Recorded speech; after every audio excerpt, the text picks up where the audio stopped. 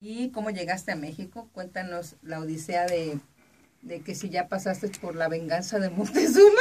Estoy en proceso, estoy con la venganza de Moctezuma en, en apogeo, además.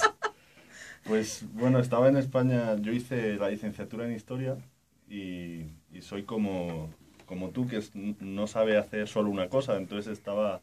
Ay, yo creí que ibas a decir no sabía hacer nada. No, no, no, escribiendo en varias revistas y, y bueno, estaba viendo a qué, a qué podía dedicarme con la carrera de historia, porque es una carrera un poco complicada para... Sí, porque alguien es, ¿quién estudia historia? ¿Quién Sí. estudia filosofía, no? Suena un poco además a, a ra- ratón de biblioteca, ¿no? Que estás todo el día O encerrado a un y- junior que no tenía nada que hacer y dice, bueno, aunque sea filosofía, aunque sea y se historia. aburría, ¿no?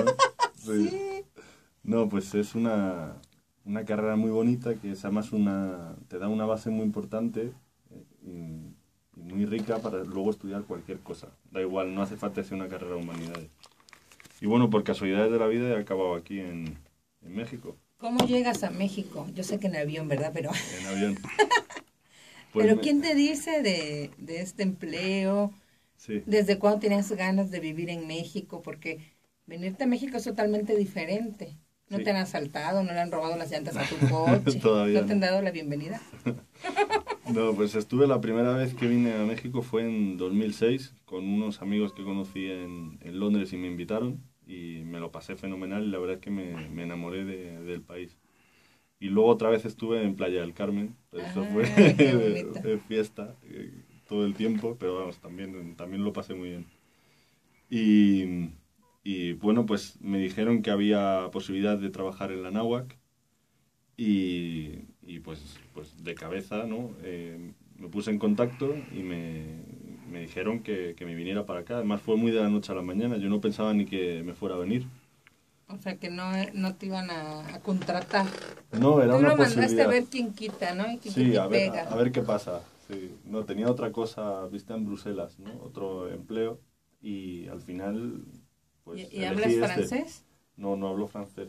Y puedes trabajar en Bruselas. Sí, porque en el Parlamento no hace falta hablar francés, puedes hablar español ¿Ah, y sí? te traducen. sí. Porque además sería para trabajar con un, con un con el equipo de españoles que está allí. Oye, ¿y, y, y decidiste mejor la náhuatl que el parlamento? Decidí que mejor dedicarme a lo que de verdad me gusta, ¿no? Porque me había estudiar historia es una carrera que no es fácil, pero si además te dan la posibilidad de dedicarte a, a la historia, pues pues entonces es perfecto y si te tienes que venir a México pues te vienes, ¿no? Además era es una oportunidad enorme. Sí. bueno, y cuéntanos, ¿dejaste novia? No, yo tuve una novia que me dejó a mí y entonces me, entonces es, eh, me quedé libre para poder venirme a México o a cualquier parte. O sea, que te ayudó, fue... Sí, Todo se dio. Fue, fue perfecto. Y dices, sí, me voy.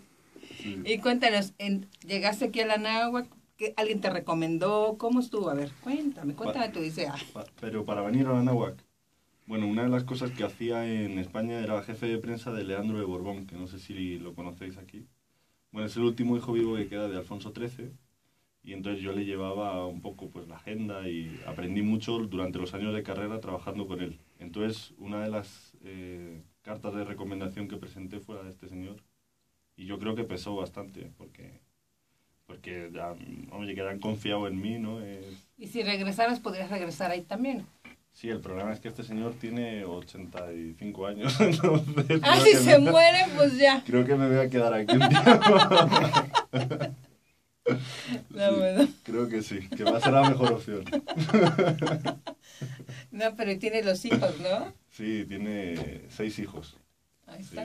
sí, sí, sí. Bueno, pero no sé, yo sí, los hijos van a seguir dedicándose ¿no? al tema este un poco de representación y luego había publicado varios libros y se dedicaba a temas de televisión y tal.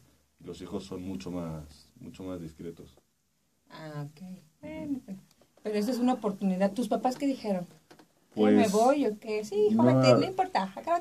No, para nada. Me dijeron que, que si de verdad era algo que quería, que, que bueno, que me viniera, pero que, que había otras opciones que parecía un poco que me había, me había empeñado en, en México.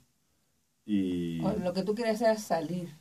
yo ¿de quería irme fuera? de mi casa. ¿no? lo, más, lo más lejos que, que encontré fue México. No, además me estaba escuchando, me estaban escuchando en mi casa, así que no debo, no debo decir esto. Así que, no, ¿Alguna anécdota? Cuéntame alguna anécdota. ¿Ya te dieron lugar aquí? ¿Ya tienes tu oficina así toda padre y bonita? No, todavía no. Me tienen en una sala de juntas, que es una, una, de momento, ¿no? Que es una sala de juntas, pero que tiene refrigerador y están Y las tazas. Pues casi, Cocina, casi, casi, casi. Parece. Entonces todo el mundo pasa por allí y no me concentro nada al trabajar. Pero ahora ya me han prometido un, Un lugar. un lugar, sí. Lo estoy reclamando de todas formas. Sí, sí, sí. Pero cuéntanos tu odisea del papelito. El papelito. No, pues es que el- tengo una compañera que además es como la que más me, me sigue las bromas y la más divertida del, del Departamento de Humanidades, que es donde estoy. Y entonces, para que no se le olvidara a nadie que todavía estoy sin, sin despacho, pues entonces le puse un papel con mi nombre, pero pegado, ¿no? Arriba del de ella. Encima del de ellas. Y entonces todo el que pasa por allí ve que, que hay algo raro, ¿no? Que me tienen que dar ya el mío. Sí, dice mi padre que, que, que deje hacer el idiota que me van a echar. Pero bueno, ¿Y qué es lo que haces? O sea, ¿qué, qué estás haciendo de historia ahí? sí, ¿O pues nada más estás haciendo historia? mm, estoy historiando. No, bueno, yo estoy Y haciendo lees la... historietas. Sí. Estoy eh, haciendo la maestría en humanidades eh, y luego trabajando en, la en el nuevo lanzamiento de una licenciatura que vamos a abrir, pero que todavía no puedo decir cuál es. ¿Te- ¿Tienes al- algunas ideas de cómo abrirías? Pues, Habría una, una como inauguración con globos, con niños, no sé. el evento de lanzamiento oficial, ¿no? Donde vamos a invitar a, a- a mucha gente. O, vas de- a o te vas a parar y vas a repartir folletitos. No, pues hay varias ideas para, para hacer el evento de lanzamiento y uno es el castillo de Chapultepec. O sea, que es un Ah, marco increíble claro. para, para lanzar una, esta carrera, además, porque no puedo decir cuál es, pero pega mucho eh, que el lanzamiento sea en el castillo de Chapultepec. Y, y bueno, vamos a ver si, se- si lo podemos hacer ahí y, cómo quedaría, pero eso es lo que Una, estamos trabajando. una idea es que eh, estén varios así alumnos como vestidos de guaruras y, y que dijera atrás, eh, ¿qué quieres estudiar? Eh, tienes que estudiar esta carrera, ¿no? Y que el que esté ahí, el, el otro alumno, o sea, que, que va a ver cuál estudio, que diga, no, esa no quiero, entonces como guaruras, ah, ¿cómo que no? Estudia, o sea, la puerta, ¿no? Que le obliguen. Sí, esa es una buena opción. ¿eh? Algo así, ¿no?